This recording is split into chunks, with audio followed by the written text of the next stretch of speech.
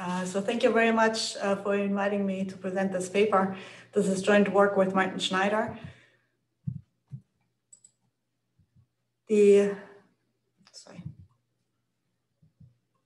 The, so this is about central bank digital currency, uh, which is a vague concept in a rapidly growing literature with many proposals of what central bank digital currency actually should be.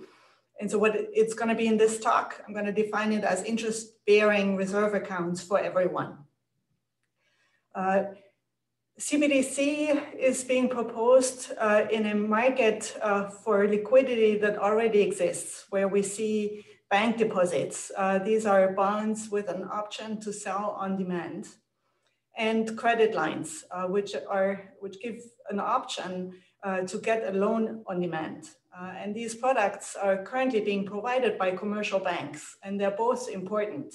Uh, let me show you a picture of how large they are as a fraction of GDP. So here you see deposits and credit card limits uh, offered by US commercial banks, and they are both large as a fraction of GDP. So, so both forms of liquidity provision are important. We view banks as adding value by providing liquidity, and they exploit the complementarity between bank deposits and credit lines. Um, we're going to conclude that CBDC is not complementary to credit lines, and therefore it's only beneficial if it's much cheaper to produce than deposits. So it's unclear whether CBDC is that beneficial. We're going to derive these conclusions from a framework uh, that has preferences in technology as in the neoclassical growth model, uh, so there are households who work uh, and consume goods.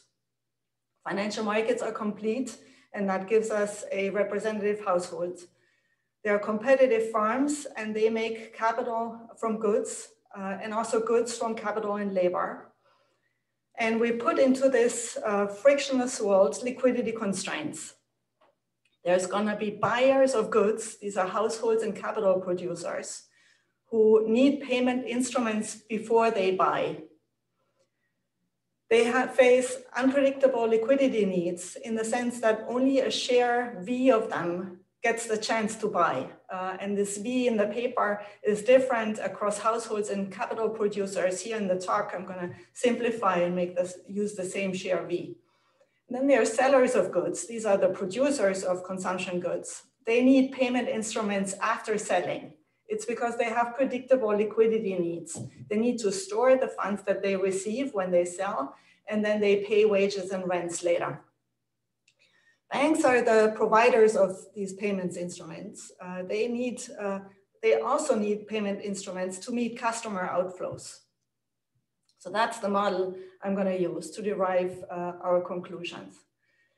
There are uh, banks that are competitive. So we're looking at competitive banks and they offer two types of payment instruments, deposits that you can hold before the trade and you can spend these deposits and otherwise you keep the rest. Or you can use a credit line uh, that you can draw down to receive a loan if you need it, uh, but you don't use it otherwise. And then banks charge prices per unit of liquidity that they provide.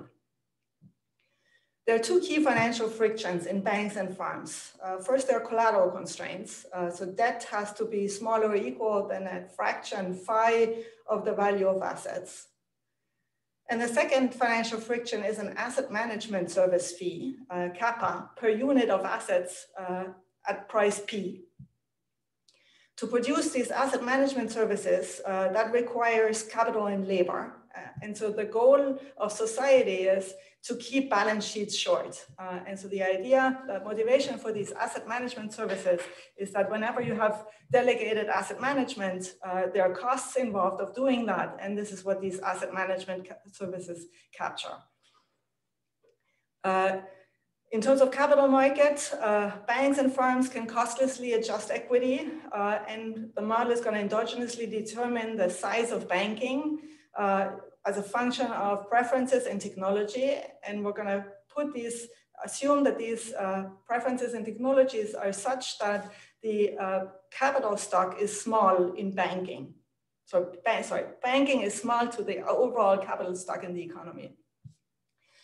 we could also introduce uh, debt for firms and banks, uh, more additional forms of debt, uh, but uh, because households, banks, and central banks can in, uh, invest directly in capital in all these uh, assets, there's a, a, version of Ricardian equivalence in Modigliani Miller that is going to hold here, uh, except for trading in liquid instruments. Uh, so it doesn't actually matter to the effects that we highlight will go through, even if we add additional forms of debt. Monika, I'm sorry. Can I, I guess my role is to ask a few questions. Is this uh, result that you get that the equilibrium size of banking is small, is that just so that you can match say the US, which has large capital markets, or is you know, or is that necessary? And then how would you think about say Europe or Japan, which has much more bank dependent finance?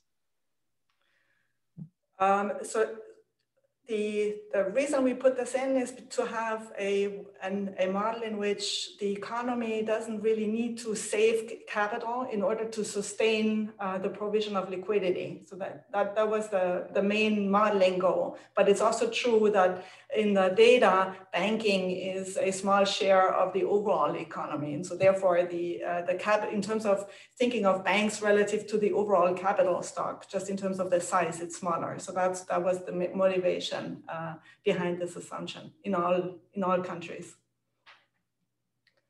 Um, so then we can characterize the, the equilibrium uh, of this model. Um, so we can solve for the equilibrium allocation as the solution of a planner problem with a resource constraint. And so the resource constraint here has liquidity costs. These are the omegas that are associated with consumption, investment, and output. And the, these omegas, they're gonna depend on the details of the payment system that we're considering. And so in this model, the payment system is going to have real effects because uh, if the payment system is more costly, that means that we're operating a production technology which is less efficient. Uh, and otherwise, the allocation res responds as it would in a neoclassical growth model. Uh, so for example, uh, it can differ by sector. If you have higher liquidity costs in investment than in consumption, let's say, then the payment system actively discourages investment. And you can think of a banking crisis in our model as just a shift in these liquidity costs. So this acts like a technology shock and then the allocation responds as it would in a neoclassical growth model to this technology shocks. And so what I'm now gonna do is show you uh, these liquidity costs and welfare for different payment systems. And so then I'm gonna first start with uh, a payment system where the only thing that banks offer are deposits. So no credit lines or no CBDC. Uh, so how many deposits are needed to support trade in this model? Uh, so there are buyers of goods. These are households and the capital producers. They need to buy stuff. Uh, and only a share V of them actually gets to spend deposits to buy. Uh, and so that means that buying consumption plus investment requires a an amount of deposit that is a multiple of consumption plus investment, and the multiple is one over V. And that has to happen before trade. So, so households and capital producers need this aggregate amount of deposits before they trade. That is because their liquidity needs are unpredictable. That leads to precautionary deposit holdings. So this share one over V is larger than one. Those are the precautionary deposit holdings. The sellers, they're producers of goods. They sell consumption plus investment goods. And that requires deposits V times D, which is the total amount of consumption plus investment after trade. And so who, who trades with whom here and how do banks uh, manage their liquidity needs? So here there are many identical banks, household and firms. Uh, all interbank flows wash out uh, what's happened here. So the assumption is that bank liquidity constraints don't bind. Um, so if we wanted to add interbank liquidity flows, we would need to introduce explicitly liquidity shocks of individual banks and then uh, model their reserve holdings and an interbank market for trading reserves, uh, for lending and borrowing reserves. We did that in earlier work, uh, but it's not really important for what I'm gonna show you today. So let's look at balance sheets uh, once uh, we have purchases by buyers uh, from sellers. So buyers uh, own deposits. So assets are in green and liabilities are in red. Uh, so they have deposits before the trade. After the trade, uh, they spend a share V of these deposits. Uh, that becomes an asset of the seller. Uh, and bank deposits stay unchanged because they just migrate from the asset side of the buyer to the asset side of sellers. Uh, to think about uh, the liquidity costs associated with this trade, let's think about uh, the liquidity costs associated with that. Uh, so we have uh, two times two minus V time divided by V many deposits. they require assets one over phi to back these deposits. these asset holdings come with an asset management fee kappa, which costs P. So these are the liquidity costs of consumption. Uh, if you look at, uh, if, if who's buying is uh, a, a, capital producer, um, you have to add asset management fees kappa i because they have to hold deposits before they purchase uh, and that creates liquidity costs. And then uh, there is a liquidity cost also associated with selling output uh, that it just is an asset management fee associated with these deposit holdings. Um, and so here, uh, the resource constraint for the equivalent planner problem uh, when banks only offer deposits look like, looks like this. Uh, and you can see that the property of banking uh, with deposits is that liquidity costs are high if liquidity costs needs are unpredictable. So if V is small, if uh, liquidity needs are unpredictable, that generates a lot of precautionary deposit holdings, and that generates a lot, lot of asset management fees uh, that are that represent liquidity costs. And the investment is extra costly because firms are not natural savers. Uh, they have themselves balance sheet costs, kappa i, uh, that generate liquidity costs. So this is the, for the case just with deposits. Let me add credit lines uh, to the model. So how does, how do, uh, how many deposits and credit lines are needed to support trade in this model? So here, the buyers of the goods, they, uh, we, we're gonna solve for an equilibrium in which they only use credit lines uh, because they have this unpredictable um, liquidity needs. Buying uh, consumption plus investment is cheaper if they do that by arranging for a credit limit before the trade. Uh, the credit limit is just the amount of, before they, they were using deposits, which was a multiple one over V of consumption plus investment. Now this is a credit limit. Uh, and actual loans that are drawn down are just V times L. That's just consumption plus investment. So in this world, their buyers of the goods don't have precautionary deposit holdings anymore. They just arrange for credit limits and then draw down these credit lines.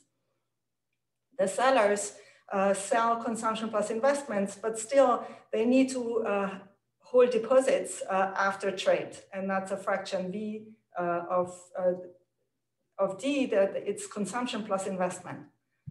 So how does this look like? Uh, so in, in a world with credit lines, buyers find it cheaper to just draw down a credit, uh, their credit line, V times L. Uh, that becomes an asset of the seller. Uh, and also therefore, um, the drawn credit line becomes an asset of the bank, while at the same time, uh, the deposit of the seller becomes a liability of the bank. So now the bank has uh, VL on both sides, but VL uh, is not the, the drawn down loans are not sufficient to back deposits because they have to be backed by more, more assets. Uh, a fraction one over phi, phi is smaller than one. So, so banks need to hold additional assets and that's capital. So they add capital holdings, which they back with equity. What are the liquidity costs in this uh, model? Uh, there's no liquidity costs associated with consumption and investments, um, but there's now liquidity costs for associated with selling. Uh, and that's because the sellers, uh, firms that sell uh, consumption goods have asset management uh, fees associated with the deposits that they receive. Uh, and, the, uh, and so this is the size of their liquidity costs. Let's compare the world with and without credit lines. So the first line is uh, uh, the omegas that are associated uh, with credit lines, and the second line is just deposits. And so now you see that credit lines come with welfare gains. That's because they avoid precautionary holdings of deposits, and that looks like higher TFP. Also, they avoid firms' balance sheet costs uh, because firms are not natural savers. Uh, these invest the capital good producers get away with just using uh, credit lines, and that is investment-specific technological progress, uh, which increases investment in this model. Uh, the, the, the, two products, uh, deposits and credit lines, they're complementary because uh, the drawn credit line is an asset that backs deposits, and that looks like higher TFP in this model. Uh, and so the importance here is that this complementarity uh, is due to collateral savings uh, by, farm, by banks. Uh, it's not because uh, this complementarity somehow helps a liquidity constraint of banks. It's just savings in terms of overall collateral asset that banks have to hold. So what happens if a central bank comes into this world with uh, deposits and credit lines and offers central bank digital currency? We're going to assume that the central bank is just like another firm. Uh, it has a maximal leverage parameter phi star and asset management cost kappa star itself. Uh, and then it will um, offer CBDC at marginal cost. Uh, so that's what we're going to assume. The central bank comes in and offers uh, these deposits. And uh, there are two simple results that we can see right away. CBDC uh, will be good only if the technology that the central bank uh, has is really better. So the welfare gains require that the ratio of kappa star to phi star that the central bank has is strictly smaller than the kappa and the phi that banks have, uh, that commercial banks have. So either the central for CBDC to be good and preferable uh, in welfare sense, it either has to uh, come with cheaper asset management that the central bank has, and that, that seems plausible, or there's a better ability to commit um, that the central bank has. So either one is needed for CBDC to be desirable. Another result is that CBDC is good if the technology is better and bank, banks only offer deposits. So in a world with only deposits, it's clear that, the, uh, that it's great to have CBDC if the technology is better because then all depositors just migrate to the central bank. Um, commercial banks will disappear in our world because they have no value beyond uh, liquidity provision. They're not important for making loans in our world. We have a liability centric view of banks that views them as important as liquidity provider. And that means investment actually in our model increases uh, once deposits migrate to the central bank uh, because liquidity has become cheaper. And so these results are, are easy to derive. The question is what happens if banks also offer credit lines? Uh, so what if CBDC is added to a world where, uh, where banks also offer credit lines? So now buyers and sellers uh, face a choice of payment instruments if uh, the world has deposits and credit lines uh, and CBDC. And so suppose deposits and CBDC are priced the same so that bank customers are indifferent between these two products. But buyers will still use credit lines. Uh, so that's, we're in a world in which uh, the liquidity needs are unpredictable and the technology of the central bank is not too great so that uh, CBDC is not that cheap that even buyers switch to CBDC. Uh, in the paper, we also analyzed the case when uh, households stop using credit lines altogether. Uh, but let's assume that they still, the buyers uh, still use credit lines. Then the response by commercial banks uh, to this entry uh, by the central bank in the in this with CBDC is to still issue deposits. they match the higher interest rate that CBDC earns. They increase the price of credit lines to break even, and that is associated with high funding costs for banks. Uh, so it's no longer profitable for them to invest in other capital.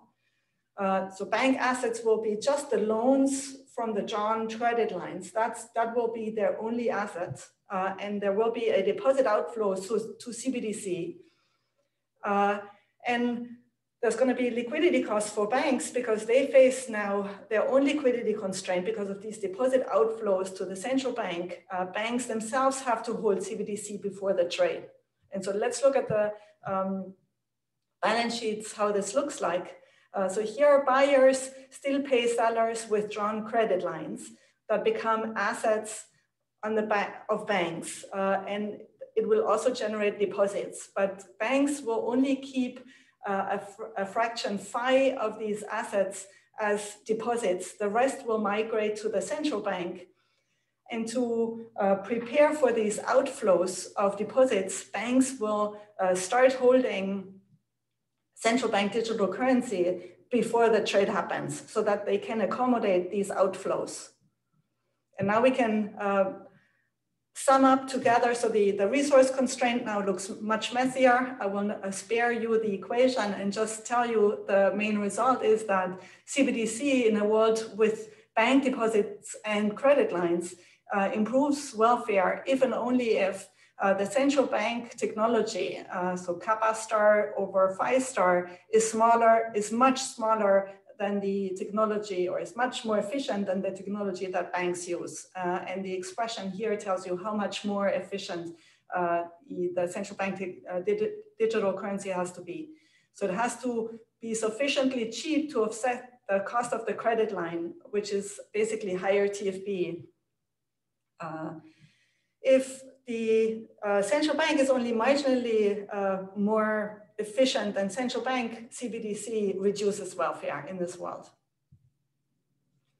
And so the, one of the questions uh, is, can central banks actually help uh, the asset side, keep the asset side of the banks unchanged if they offer a credit line to banks uh, and so bridge this uh, out, deposit outflow? And the answer is that no, actually, uh, by offering a credit line, that's, that generates also higher liquidity costs. So let me skip this. Let me repeat the overall message is that CBDC uh, here was interest uh, bearing reserve accounts for everyone, uh, when they enter into a market for liquidity that has not only deposits, but also credit lines, then uh, it's not clear that CBDC is uh, beneficial. It's beneficial only if it's much cheaper to produce than deposits.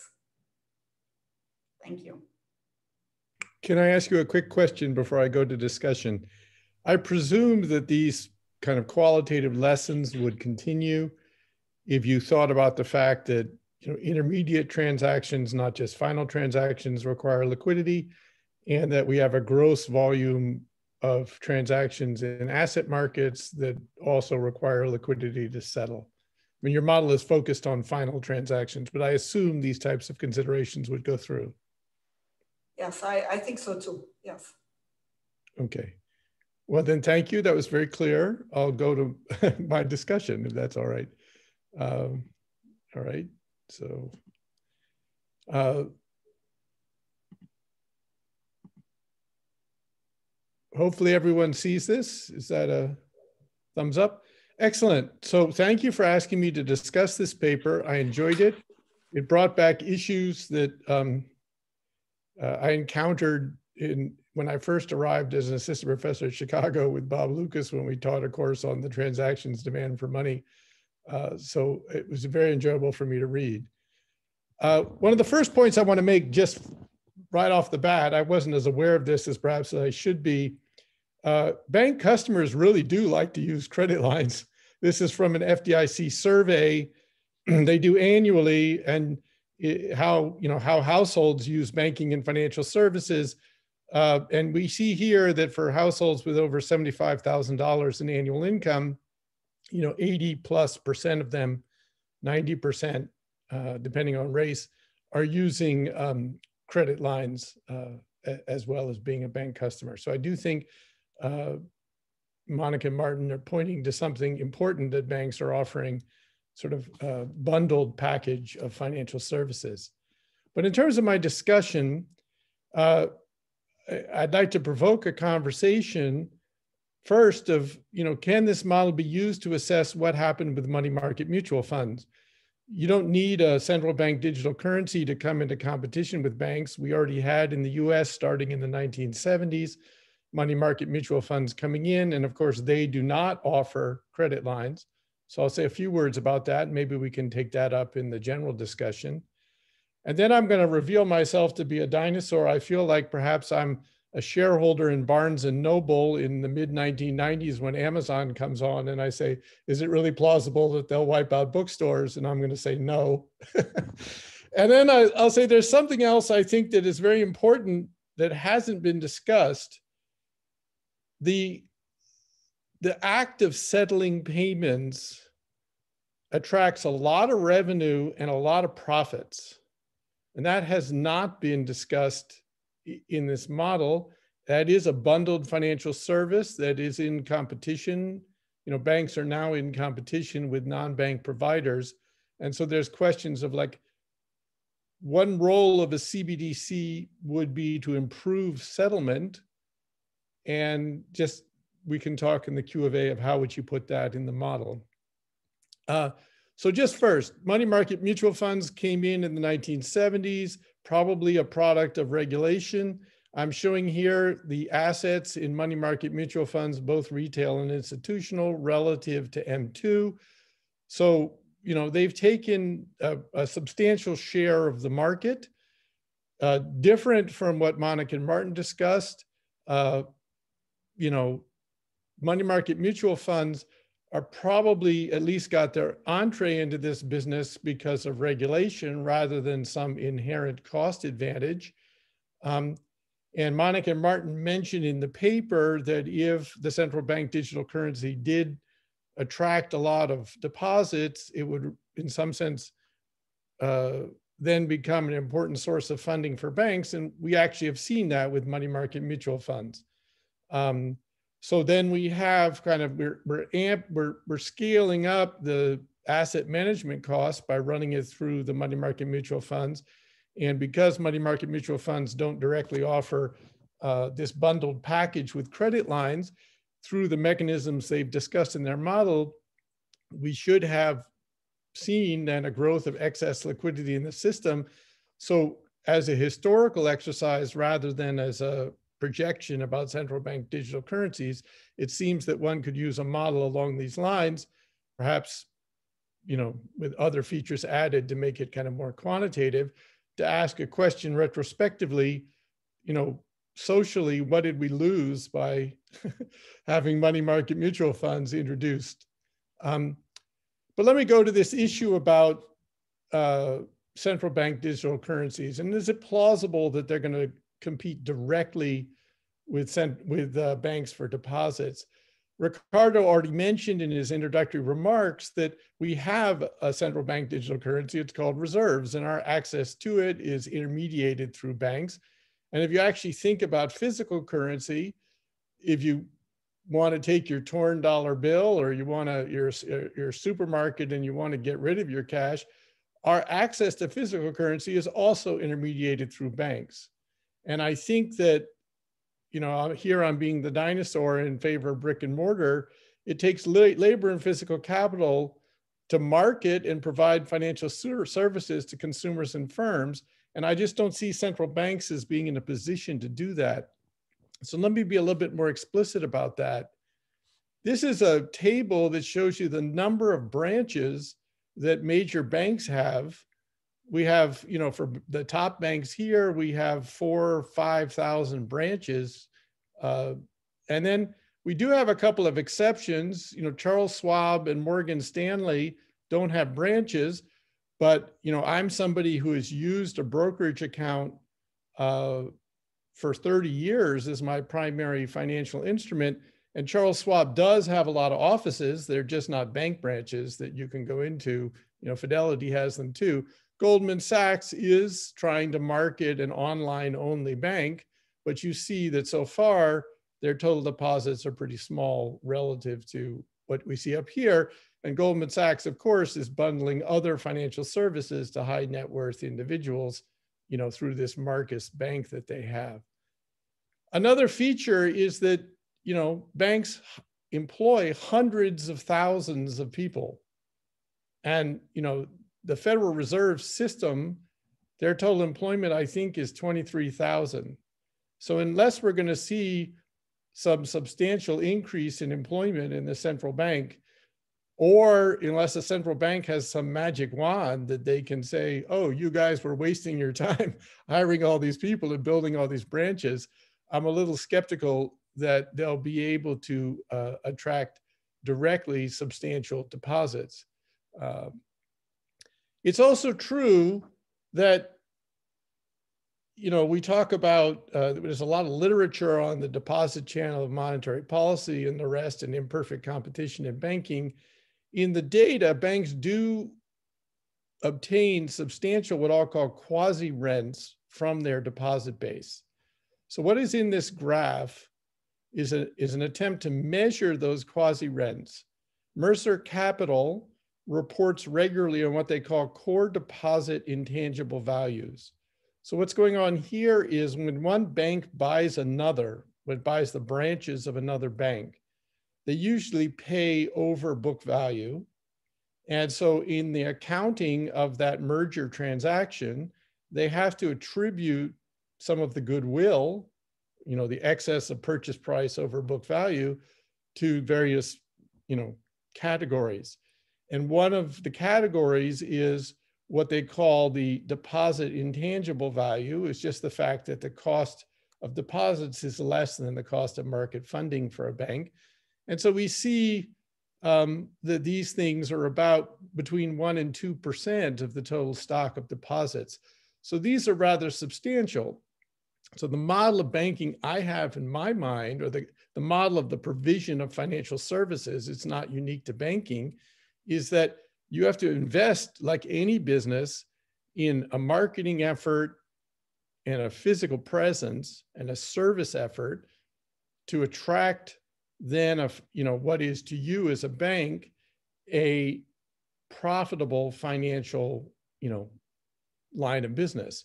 And and unless the central bank is going to be like amazon and really kind of try to be a business i don't see it as being able to enter into this market. Um, the other issue I mentioned is this thing about payments versus liquidity services. I mean, one of the things you get when you bank is an ability to settle transactions. And it is true with money market mutual funds that if you want to actually, you know, write a check or pay a bill, your, you know, your account is is or Fidelity is providing those services through a bank. Uh, I think State Street is a particular bank that does a lot of this and earns a lot of revenue. And one thing about payment services, the central bank does have what I'll call a, a, an unfair advantage, but a true advantage in providing credit to support payment settlements. If you think, for instance, about Fedwire, where they guarantee all intraday credit between banks. There's quite a lot of credit being provided. You know, at the retail level, Visa and MasterCard are providing this credit when a, a merchant gets a, an authorization. The merchant knows he or she is going to be paid, even though the bank that issued the credit card doesn't know yet that the consumer is going to pay the bill. Uh, so Visa steps in there and has arrangement with, with banks to do that. I, I guess conceptually, the central bank could provide this type of intraday or you know settlement credit associated with settlements uh, at the retail level. This would seem to be a pretty risky business for the central bank to get into. But I do think, you know, it's worth thinking more carefully about what payment settlement innovations a central bank could bring about relative to what we already have. I mean, not only do we have FedWire, but the you know the Fed introduced some time ago the ACH payment system, uh, trying to get into the you know simplify the check clearing business, and uh, perhaps that they can do more. But you know, I'll get to this question of why are Square and PayPal so valuable because I think that there's, I don't understand. And I think that this is really the key issue to think about what a central bank digital currency might do in the payments arena. So this is just data I wanted to use to provoke thought about where do banks get their revenues connected to the provision of payments and liquidity services. So this is a chart from uh, McKinsey Global Payments Report, an annual report on the kind of payments business. And we have columns, Asia Pacific, North America, Europe, and Latin America. And we have these bars are divided. The gray bars refer to what's going on with uh, consumer accounts, and the blue stuff at the top is, is, is referring to what's going on with commercial accounts. These numbers across the top give you total revenue in billions. And let's just take North America. So on the consumer side, the provision of credit through credit cards is a very large portion of the revenue. Domestic transactions, these are basically settlement fees or another large portion of revenue. And then what they call a, account related liquidity, which would be the gap between, say, a market interest rate and a deposit rate, is relatively small. And then, of course, you have cross border transactions, which are super expensive. And you have the corresponding items for. Um, uh, for commercial accounts. So kind of the key lesson I want to take from this graph is, you know, around the globe, transactions processing you know, there is true that the interest rate you earn on liquidity services can be important here we have in Asia, but transactions processing is a very big part of bank revenue. And this is something that's kind of not discussed in the paper. Another fact that I find very striking is this comparison of the market capitalization of banks versus payments providers. Uh, so this is uh, an estimate of the total market cap of four large payment companies Visa, MasterCard, Square, and PayPal, so a little over a trillion dollars. And this is the total market cap of the six big banks, being JP Morgan, Bank of America, Wells Fargo, Citigroup, Morgan Stanley, and Goldman Sachs. And even more remarkable, you know, these payments companies basically don't have balance sheets. So they're trading at market to book like about 30 and the banks are trading at market to book well under one. So, you know, there is this question, and I think an important area to understand. There's something really profitable, high revenue and high profits in processing payments. Are these things rents? Are they quasi rents? Could a central bank digital currency do something about this market if these things are rents? I think that these are kind of central questions to push this discussion uh, further. So I just might summarize and open it up to Q&A. I think it's a huge contribution of this paper to focus on banking as a business. I just want to stress, banks hire hundreds of thousands of people and have thousands and thousands of branches. You know, they're kind of like the pizza business. so I ask myself, like, would a central bank want to get into that business? I, I, do think, though, and this model can also have a big contribution both for historical work relative to money market mutual funds, currently on the development of fintech non-bank payments providers, and going forward, you know, as technology develops, what do we want to do? But I want to stress that kind of the central contribution, people have to start thinking about this as a business. It's kind of like making steel or cars, and we have to think about the IO of it that way. All right, so thank you. Um, thanks a lot, Andy and Monika. Um, so uh, before I uh, ask Monika to like have any to answer any comments or responses to Andy, so to the audience, please raise your hands uh, if you have any questions or if you would like to uh, participate. We would love you to participate in the general Q and A. So Monika, uh, please, if you have anything to discuss with Andy. First, I wanted to thank uh, Andy for an awesome discussion. These are really great comments. I agree with Andy that I think the, the model is useful to think about the introduction of money market mutual funds.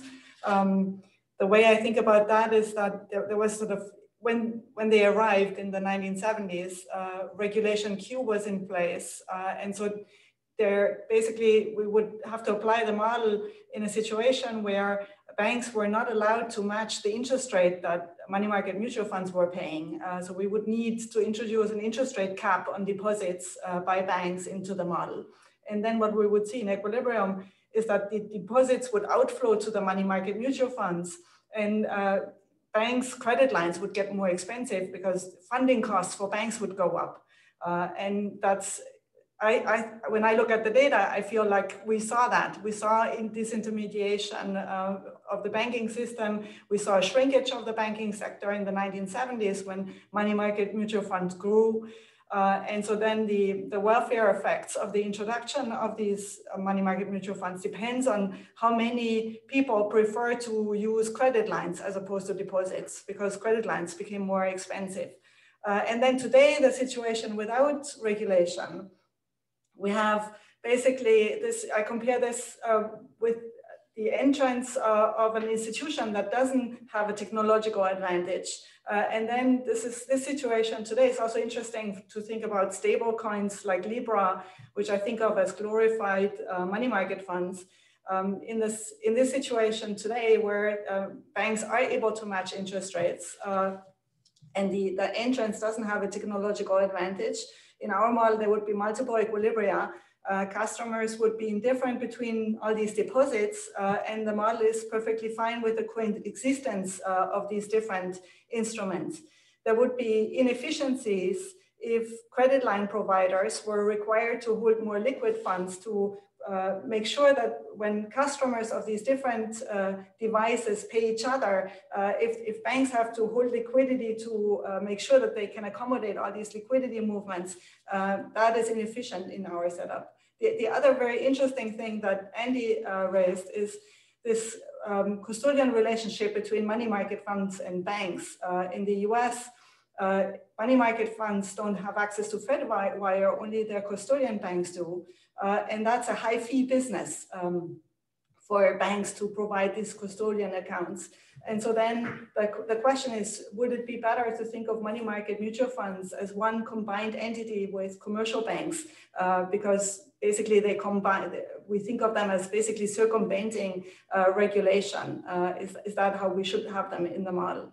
The, uh, Andy raised this issue of Visa and MasterCard and uh, their market cap and also them as, as uh, um, financial intermediaries, the, the way I think about them in our model is that they provide an intermediate input uh, for banks. They provide basically the Visa payment network that banks have to buy in order to provide credit cards. Uh, and so the credit, the drawn credit lines are on the balance sheets of the banks uh, while the bank is only is buying these uh, the network, the paying network from Visa and Mastercard, uh, to the extent as Andy was right, to the extent that there is uh, limited competition uh, in the provision of this of, of these networks to banks. Um, then it's interesting to think about rents in that sector and how that would interact with uh, CBDC and more generally monopoly power. So monopoly power of banks in the deposit markets is going to um, uh, favor the introduction of CBDC. So this is going to be an argument in favor of CBDC. In fact, there's a paper by David Andolfatto that uh, analyzes that uh, what happens when CBDC uh, competes with banks and banks have deposit uh, market power and deposits. The, the number of branches, I'm not as worried about uh, those as Andy is. Uh, because the number of branches of banks have been coming down. Uh, customers go to the branch when they open an account. So that's what they used to do in the past. Now they open their account on the internet. Uh, people go to branches when they get they want advice about asset management um, and so it's not really associated with the i, I don't view the, the presence of branches as there uh, to support the deposit business, but they are to support other functions that banks have, like asset management. Um, I, I agree with, I, I agree with almost everything that you say, except for the last point. I recently had an experience where Fidelity debited the same check from my account twice. And it took me two days on the phone, including with the person to whom the check was addressed, to get one of those transactions reversed. I picture myself talking to a bureaucrat in a central bank trying to understand if they'd made an error in debiting my account, how I would ever fix it. So I'll just say that I, even if you don't need a branch, you still need service personnel uh, when stuff goes wrong.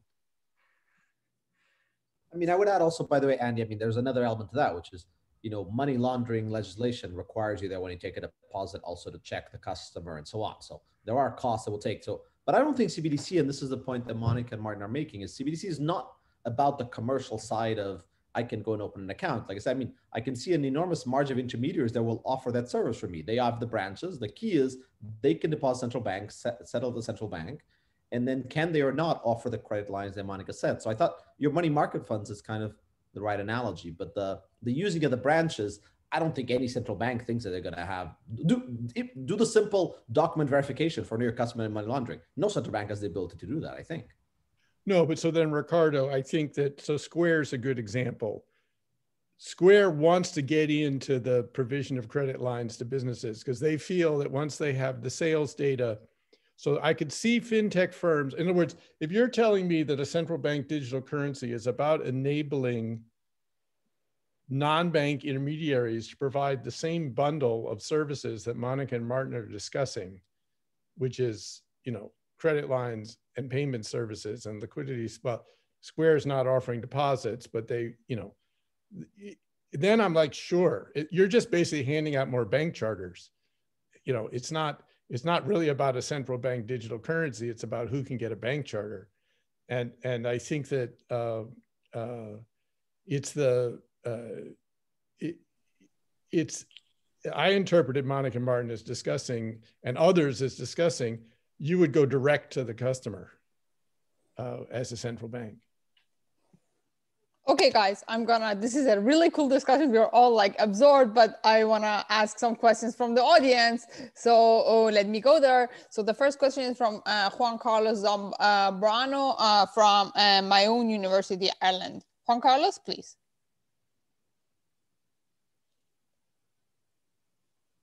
Oh, can you hear me? Yes. Uh, oh, per perfect. Uh, no, I just wrote a question regarding the technology factor because, uh, I mean, it seems it's in, in, in the Monika's model, it seems that, I mean, this is something that, that uh, plays a role in, in, in, in if, if, if, if, if, the, if the central banks should uh, do um, the payment system to see uh, if, if it should do the CBDC. Uh, but my question is, is how, how, I mean, in the model, how, how do you consider, I mean, uh, the competition in terms of technology with, you know, the, the, um, uh, the providers of the technology that are basically trying to make a more distributed market rather than a centralized model?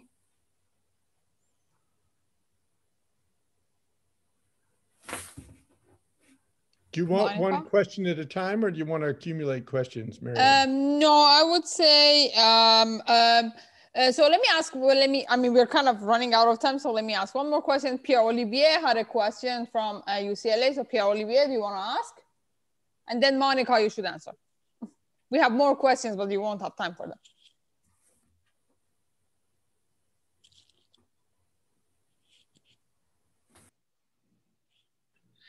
Uh, hi.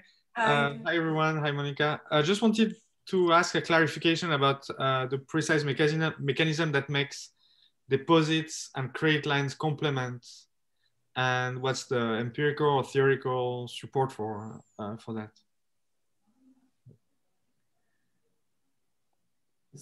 So, so, the, the, the way it works in the model is that the mm -hmm. um, whenever so banks have to back deposits with assets uh, that's the mm-hmm. key assumption. And the, the, if uh, they also offer credit lines, the drawn credit lines uh, become an asset that backs deposits. And so, in terms of thinking about liquidity provision, the cheapest way to provide uh, the most liquidity is to uh, offer deposits um, and then back them with drawn credit lines. That's the that saves on balance sheet costs uh, and still respects the collateral constraint. And so the way I think about collateral constraints is that the um, any firm that has that wants to issue debt and wants to convince its investors that they're going to repay the debt, it will have to um, put down some collateral. Uh, and the, the asset, the, the desire to keep the, the balance sheet short is that there's some costs of associated with